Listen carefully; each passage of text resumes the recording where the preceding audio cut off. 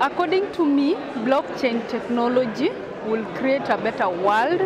Since uh, I come from Africa and I have seen uh, most of the people are developing interest in learning black, uh, black, uh, blockchain technology.